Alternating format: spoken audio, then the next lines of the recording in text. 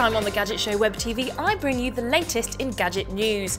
Ortis tests out his music making skills on the Hobnox audio tool, and Jon tries to organise the family with the O2 Joggler.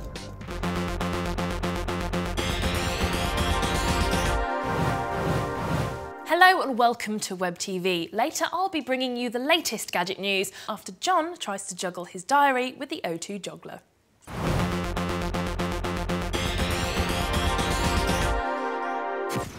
This is one of the latest things from O2. They call it a joggler. What on earth is that, you might reasonably ask? Well, it's a sort of digital picture frame that connects to the internet and which also contains a SIM card so you can send and receive text messages and has lots of sort of widgets on the screen so you can easily keep abreast of news headlines, sports news, weather, traffic information and so on. And it also has a built-in calendar function that's synchronizable over the internet. An intriguing, if unlikely, combination. Let's see how well it does all those things. Well, it's certainly easy to set up. You just plug it into the mains. You do have to leave it on though, but I'm told the uh, power consumption is quite reasonable. And you connect it to your home broadband router. It needs to be broadband, not dial-up, either via Ethernet cable or by wireless. I've got this one set up wirelessly. You immediately notice the fairly sensitive touchscreen, which handles most gestures very well, though scrolling can be a bit hesitant. Texting's quite easy with a good on-screen keypad, even includes a number pad.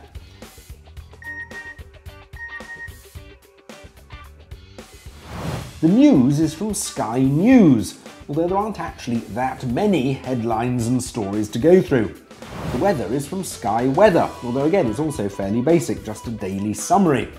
There's a games function as well, but so far only one game. It all seems a little bit limited, although I did quite like the Traffic Master traffic function. You can store your photos on the Joggler and use it as a digital picture frame. There's a USB port in the side, though it only has one gigabyte of capacity. However, through its Wi-Fi capabilities, you can hook it up to your home PC and look at any pictures that are stored on there as well.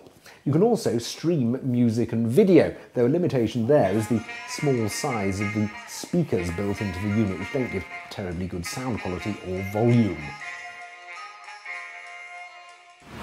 But it's the calendar function that's the most ambitious. You've got to create a calendar account and a family calendar on the O2 website, and then any changes you make on that will automatically be synchronized on the joggler and any changes you make on the joggler will automatically be synchronized on the web version. You don't need an O2 phone to actually operate this service, but you do need to give your mobile phone and email details and set up an account on the website for yourself and any other family member you want to operate it with. So you do end up with an awful lot of passwords and accounts. However, it does eventually update, although I found there were quite a few crashes and things involved in the process and it was generally a bit slow. Having said that, you can actually make changes to the calendar via text. And if you do have an O2 phone, you can receive alerts by text when the calendar's been changed. In reality, I don't think even the most disciplined family or one that's massively in need of organisation is simply going to have the time to go through the machinations of O2's calendar. When you add to the fact that it's rather slow in operation and seems to be rather bug prone, I think you're better off looking for other devices to do all the jobs the Joggler claims to be able to do.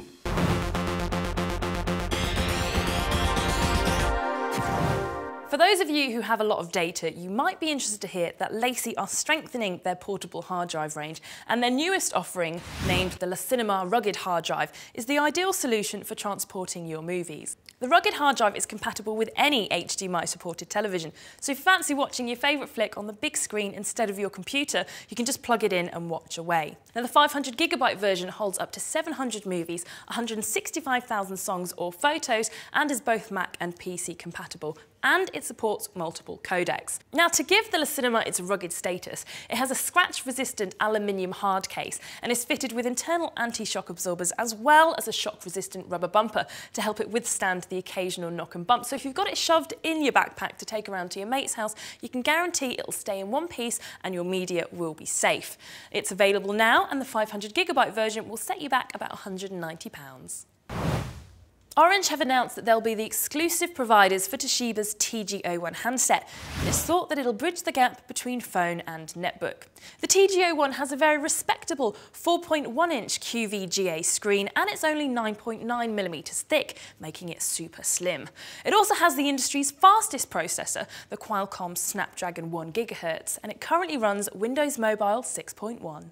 The TG01 handset is available now, but it will set you back about £39 a month on a 24-month contract. But this does include 1,200 minutes to any network, unlimited texts, access to Orange Maps and inclusive internet browsing, which makes it a very competitive package. But if you want to find out how well the TG01 handset functions before committing yourself to that lengthy contract, keep your eye on our website because no doubt Jon will want to get his hands on this phone as soon as possible.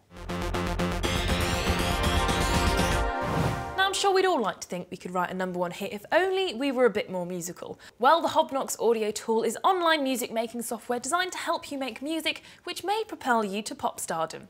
Or get you pelted with rotten tomatoes. Here's Ortis to find out.